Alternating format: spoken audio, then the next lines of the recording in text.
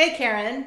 I have been using your tools and techniques for building better trust and connection, focusing on results and relationships with my direct report team. And I've got to tell you, I'm getting some really nice momentum. So here's my question Do you think any of these techniques would be appropriate to use with my boss? Asking for a friend.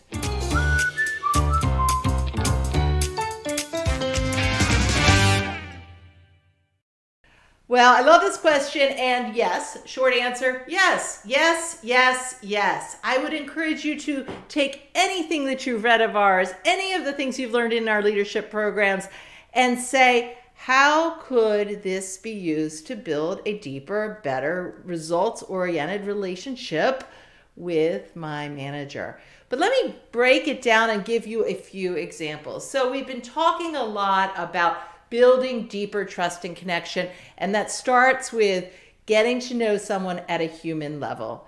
And sometimes I think people back away from that. They don't want to look like they're too pushy. They don't want to overdo it. And of course, you need to test out your manager, you know, and see what might work. You don't have to go crazy all at once. But I will tell you this I cannot tell you how many very senior leaders I consistently am talking to who are saying, I'm lonely. I, I, I wish I had a deeper connection. So get to know your manager as a human being. What do they do for fun? What matters to them outside of their work? Maybe a little bit of even what scares them. Building that deep connection is a great way to start when you're looking to build a deeper relationship and to enhance trust.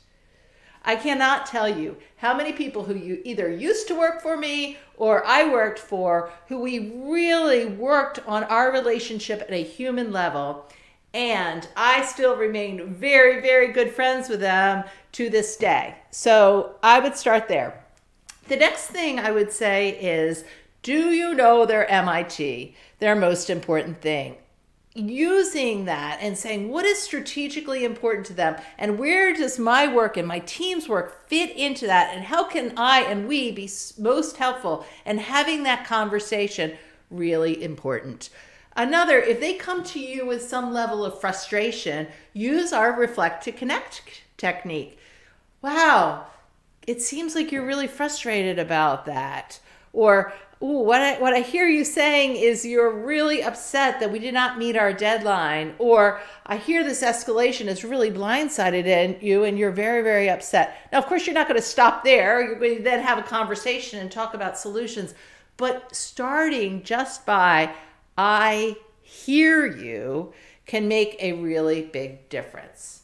Another thing I would even go as far to say is you could consider the confidence competence model and where your manager might fall based on different aspects of their role. So, for example, on a scale of confidence and competence, and we talk about if somebody is highly confident and highly confident, you know, if they're a direct report, what do they need? They need to be stretched. Well, if you are their direct report, this might be a fantastic area to say, hey, can you teach me this? Seems like you're really great at navigating the political landscape. Can you teach me to get better at that? Or you're really great at strategic thinking. How could I work on getting better at that?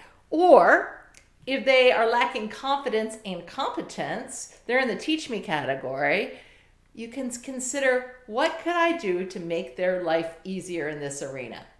My entire team knows that technology is not my thing. I am definitely in the teach me category when it comes to fancy tech. And so, my team is consistently looking for how do we make this easier for Karin so she can work on the things that she's good at and she can show up and do what needs to be done without the stress that inevitably comes if we have a tech malfunction.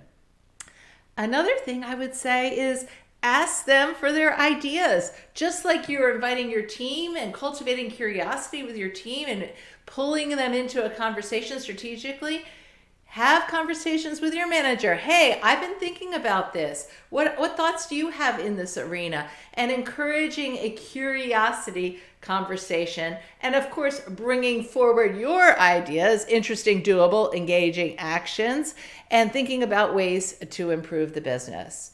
And finally, I would say all the things that we've been talking about in terms of accountability apply.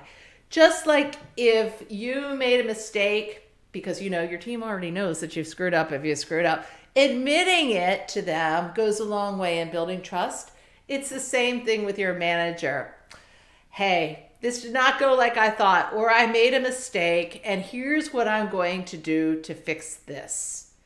That will also go a really long way in building trust and getting better results in relationships when it comes to your relationship with your manager. So, those are a few of my thoughts. I'm curious what others would add. What are some of your best practices for building a better relationship with your manager?